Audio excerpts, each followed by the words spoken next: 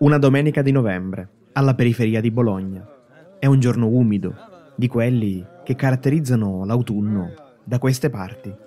In tarda mattinata, un uomo elegante arriva in una sala piena di anziani. È una sorpresa, ma gradita.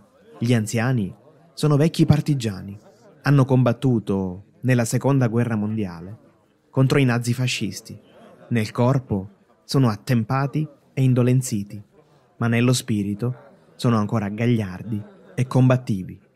L'uomo che è andato a trovarli, in un certo senso, è uno di loro, un erede di parte della loro storia.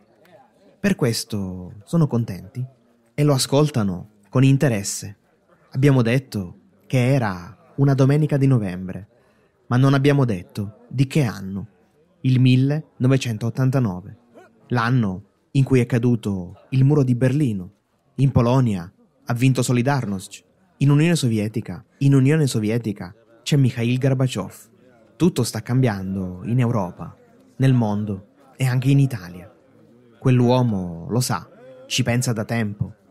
Si trova in una posizione per la quale pensarci è davvero importante. E quel giorno, un po' a sorpresa, di fronte a quei vecchi partigiani, L'uomo parla vagamente di cambiamenti, di svecchiare nomi e visioni del mondo, di quel mondo che i partigiani hanno creato e per cui hanno lottato. Sembrano parole dette lì a caso e invece fanno scoppiare un finimondo.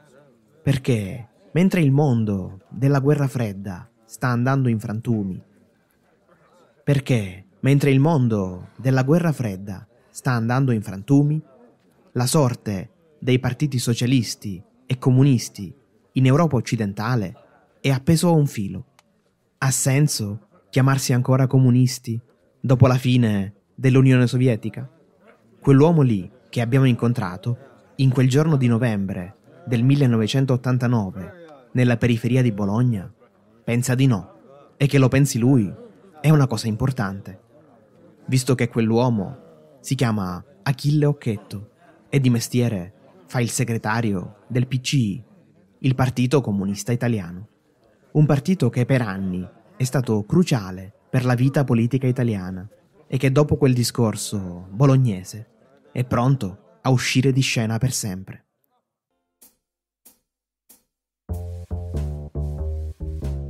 Ciao, stai ascoltando Salvatore Racconta, un podcast in italiano semplice ma non banale.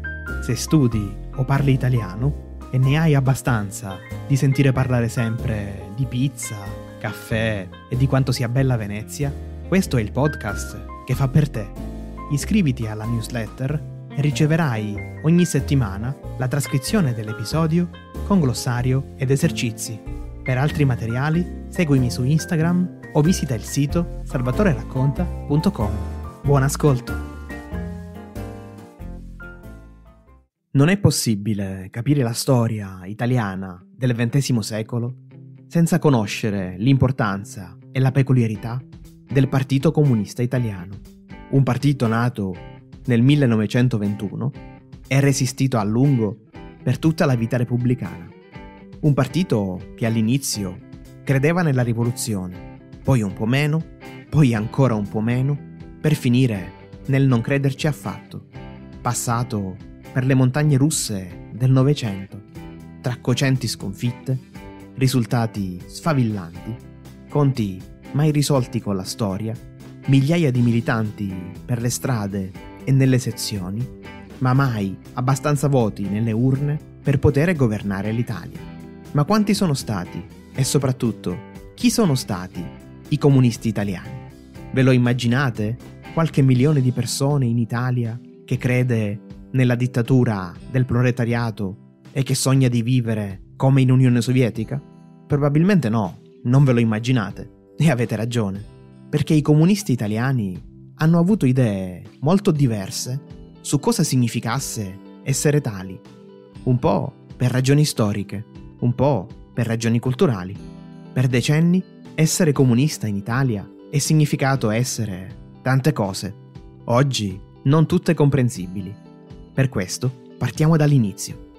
Nel 1921, in un teatro di Livorno, si incontrano gli esponenti dell'ala più estremista del Partito Socialista Italiano, quelli che sono galvanizzati dalla rivoluzione d'ottobre e che vogliono cogliere la palla al balzo per fare in Italia quello che Lenin ha fatto in Russia. Con questa idea si ritrovano per fondare il PCDI, il Partito Comunista d'Italia. Quello è davvero un partito rivoluzionario che ha l'obiettivo di rovesciare lo Stato borghese. I tempi sono quelli giusti. Dopo la prima guerra mondiale, l'Italia è in fibrillazione, arrabbiata, impoverita, stanca e in effetti una rivoluzione in Italia avviene, ma non è quella comunista, anzi è quella dei più grandi nemici dei comunisti, quelli del partito fascista. Nel giro di pochi anni il partito comunista diventa clandestino. Molti suoi dirigenti vengono arrestati e condannati.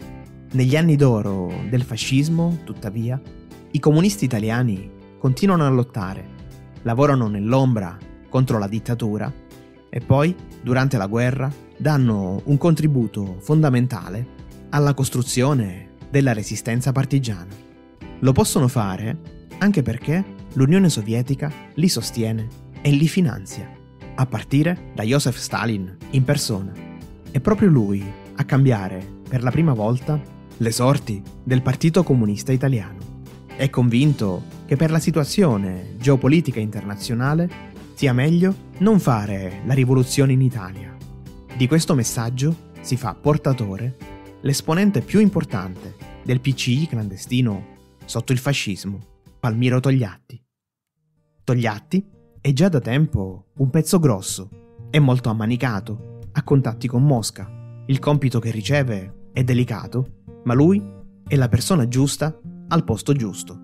Sotto la sua guida, i comunisti italiani rinunciano alla rivoluzione e si siedono al tavolo con le altre forze antifasciste per scrivere la Costituzione della nuova Repubblica Italiana.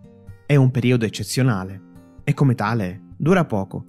Una volta finita la Costituzione, nel 1948 ci sono le elezioni e questa volta il PCI e i partiti moderati della coalizione antifascista sono avversari.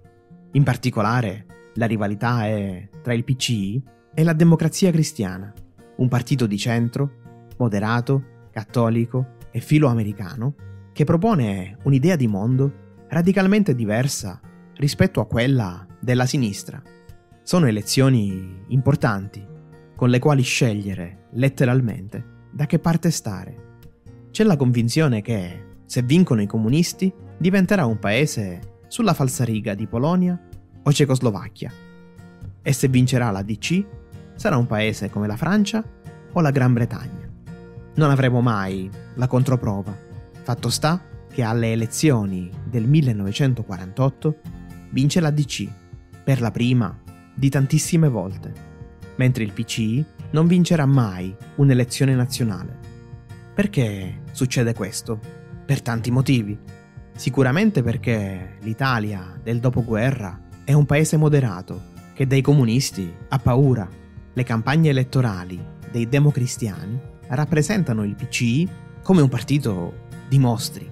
Fanno circolare leggende che oggi sembrano demenziali, tipo quella che i comunisti mangiano i bambini. Gli elettori ci credono davvero? Forse no, però vedono che con i governi della democrazia cristiana arrivano i soldi dagli Stati Uniti, il boom economico e una certa tranquillità. La rivoluzione?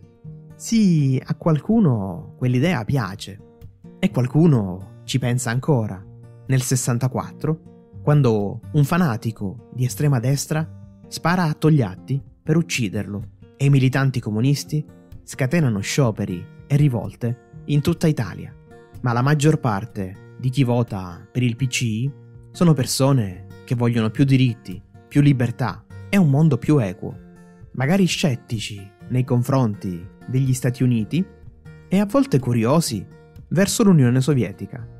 Già, l'Unione Sovietica, che in questo periodo finanzia regolarmente il PCI e in qualche modo gli detta la linea. e i comunisti italiani devono arrampicarsi sugli specchi quando vengono fuori i crimini dello stalinismo o quando i carri armati di Mosca invadono l'Ungheria per sopprimere la rivoluzione del 56. In quel periodo si apre un dibattito su cosa sia davvero il PCI, un partito che lavora in Italia per i diritti dei lavoratori o la longa manus del potere sovietico in un paese della Nato.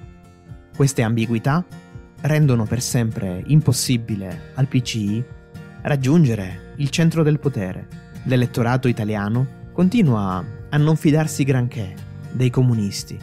Parole d'ordine legate ai diritti dei lavoratori, stipendi più alti, maggiori libertà personali, fanno presa, solo che poi c'è tutto il resto, che è difficile da digerire. Così il PCI alle elezioni nazionali non arriva mai oltre il 30% dei consensi.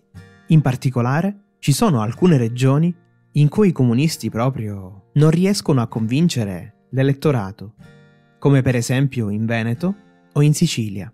Invece, nelle regioni dell'Italia centrale, come la Toscana o l'Emilia-Romagna, sindaci e amministratori locali venuti dal PCI diventano la norma.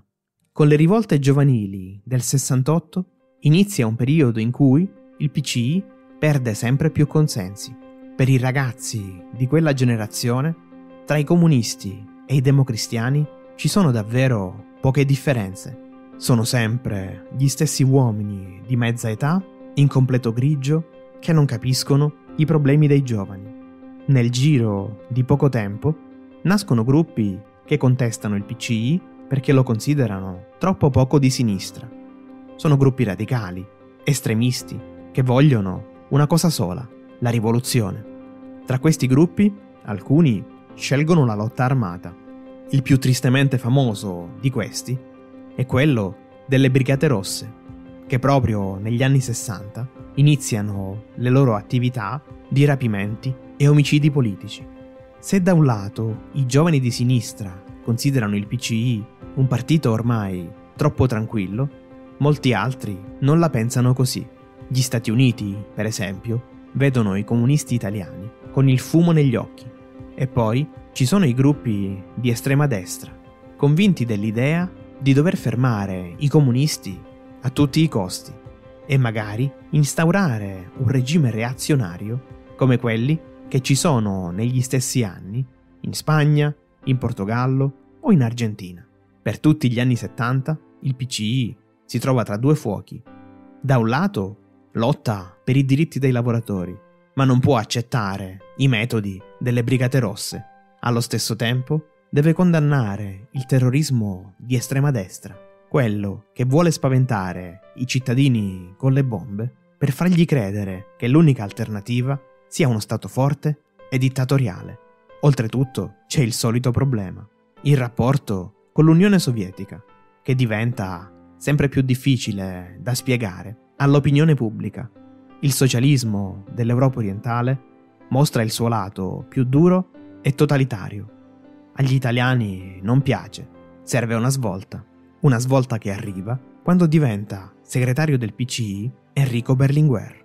Berlinguer è un uomo intelligente ed empatico, uno che ha il polso della situazione e sa cosa fare.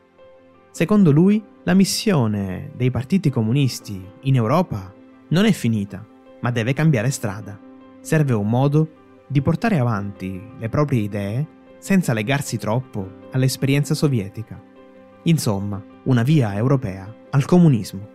Il suo tentativo di fare questa cosa prende il nome di compromesso storico, ovvero un patto di governo con gli arci nemici di sempre della democrazia cristiana Berlinguer ci lavora a lungo, insieme al presidente della DC, Aldo Moro.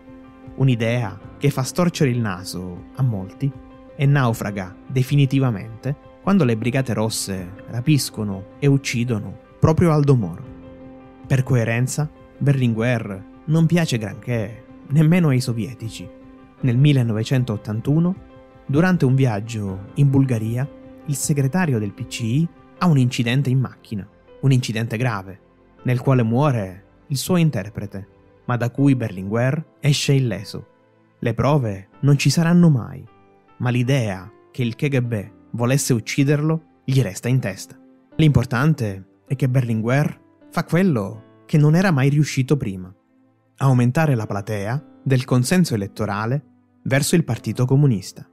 Non è che aumentano i comunisti in Italia, ma aumentano le persone che si fidano delle idee e della figura di Enrico Berlinguer, che infatti porta il partito al suo massimo risultato elettorale, prima di morire improvvisamente e di lasciare un grande vuoto nel popolo comunista italiano. Berlinguer muore nel 1982, all'inizio di un decennio che cambierà per sempre la storia del mondo. In quegli anni il socialismo reale in Europa crolla pezzo dopo pezzo. In Italia il dibattito è feroce, il Partito Comunista sembra sempre più vecchio e inadatto, un relitto della storia. L'ultimo segretario del PCI lo abbiamo conosciuto all'inizio di questa storia, è Achille Occhetto, prova a gestire l'onda del cambiamento, un'onda che però lo colpisce in piena faccia. Dopo le sue dichiarazioni a Bologna sulla possibilità che il PCI cambi nome, inizia un processo per farlo davvero.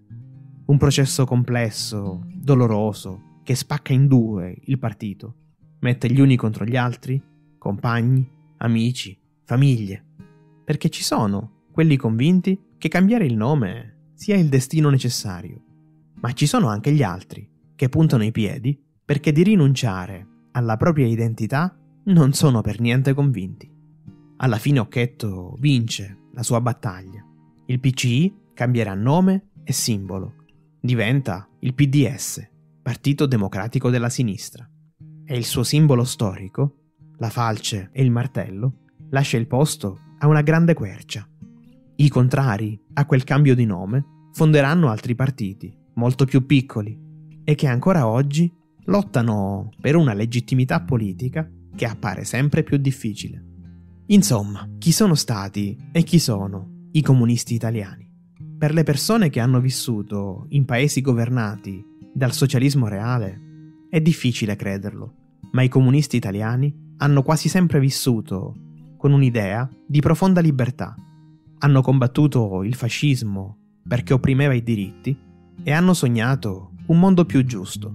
Sono stati intellettuali, operai, politici, uomini e donne normali, alcuni religiosi, altri atei, gente di città e gente di campagna. Persone che hanno trovato un ideale in cui credere, che lo hanno sostenuto, ma lo hanno anche messo in discussione. Anche per questo motivo oggi, in Italia, i simboli del comunismo non sono vietati e non fanno paura. Non a tutti, almeno. Sono i simboli di una storia che ha fallito i suoi obiettivi, ma ha avuto una base sincera. Il cantante e poeta Giorgio Gaber ha scritto una volta una canzone che si intitola proprio Qualcuno era comunista, dove elenca tanti motivi, seri o buffi, che hanno nutrito i comunisti italiani, nel bene e nel male, con ingenua sincerità o con malizia, qualcuno era comunista perché credeva di poter essere vivo e felice solo se lo erano anche gli altri.